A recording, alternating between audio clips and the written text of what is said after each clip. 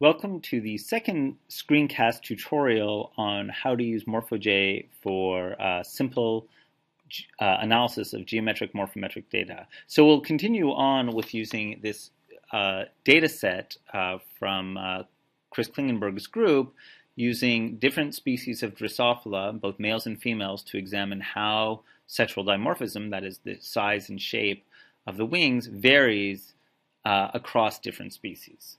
So the last thing we did was after importing the data and creating the project, we um, created our classifiers for sex and species. Uh, and again, we can double check that everything is in order by looking at the classifiers here, species, sex, and individual. Uh, we don't need to make any changes, but it's always worth going through this and taking a look, making sure everything makes sense with these, the different species, male and female. Uh, make sure there's no extra characters. So what we'll do next is we're going to do a new Procrustes fit. So this will provide a Procrustes superimposition of the data. And we start that by just going new Procrustes fit. Now that you open this and it provides a couple of choices. One, we can align everything with the first specimen. Um, this is generally uh, done if for some reason that, that first specimen may be some special configuration or um, some uh, mean mean configuration for a particular individual. But in general, there's uh, if you're just starting out, there's no need to do that. In general, we're going to align by principal axes. Basically, we're going to be computing averages uh, iteratively. So we will go through first by starting with the first specimen, compute compute the superimposition and the minimization, then go ahead calculate a mean, repeat this process multiple times until it essentially converges. Um, you can also align using specific landmarks, which in general we don't recommend, and that will be discussed in, in class. So we'll just leave this as the align by principal axis, perform Procrustes fit.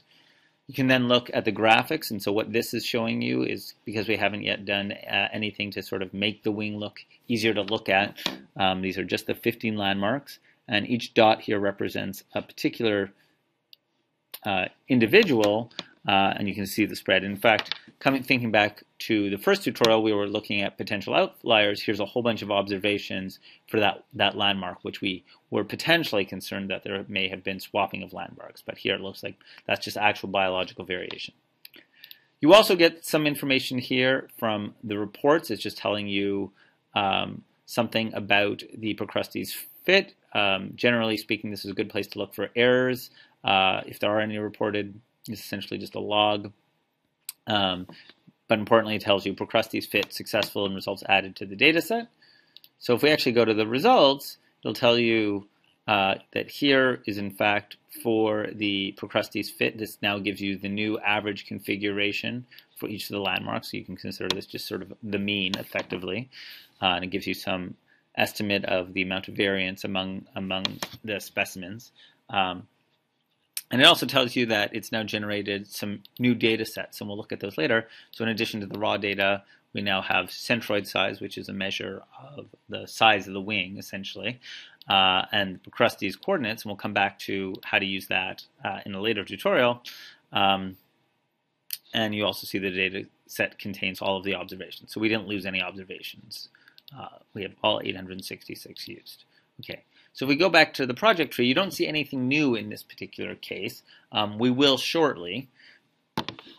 Um, the other thing I would like to show you for this tutorial is um, how to do a number of things to help with visualizations. So the first is we can uh, import what's called an outline file. And this is not something where you're, it's not actual like semi-landmarks or anything. This is not actual information about variation in the wing. This is just something to help provide a visualization um, for the shape of the wing. Now, uh, for other uh, organisms, you'd have to make your own outline file, and if in fact, if you go to uh, Chris Klingenberg's, oops, that was not supposed to happen. There we go.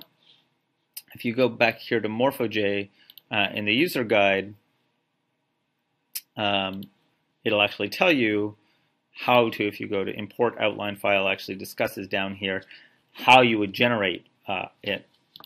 But thankfully, and again, part of the reason we're using this example, is they provide an example file here of, of one of these outline files that happens to be for the 15 landmark data for the wing. So we're actually just going to use that. Uh, so you can actually uh, right click this and save this link as a data frame, whatever it'll be saved as. I've already done that. Uh, and so what I'm going to do is I'm now going to file, import outline file, open that up, and that's the fly wing drawing coordinates in this case, and just go open. so that's now created an outline, outline file that we'll be able to use in visualizations later on. Um, I'm not sure if you're able to do it here. It doesn't look like this that you're able to, to do it just for this Procrustes superimposition.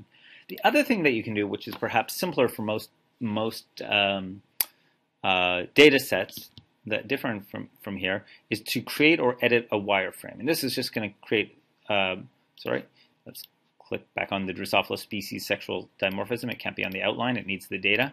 So you're going to create or edit wireframe. And this opens up a window which has the 15 landmarks that we have here. Now we have to know how to attach these.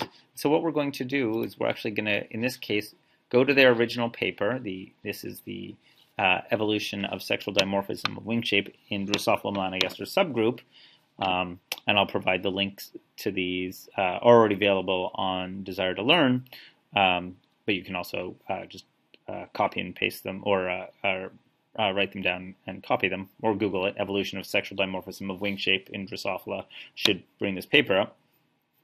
And thankfully, the first figure here, and I'm just going to click on that figure, has a picture of the landmarks that are used. And so we can see how they're connected. So for instance, landmark 12 and 13, we could draw a line to. These two are physically connected to each other.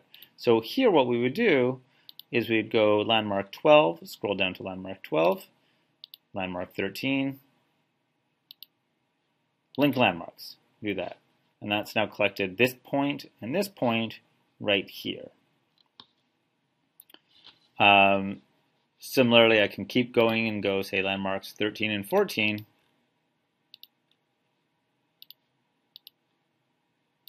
Link landmarks, and so on. So I'm going to pause the video so I can complete this, but you can do this on your own.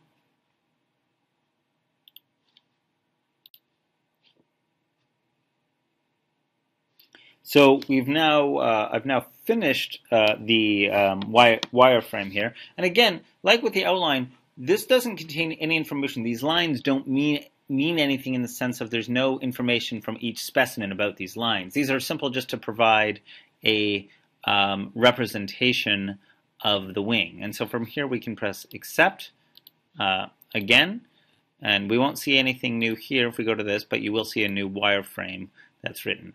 Uh, in our next tutorial, we'll see actually how we're going to use these.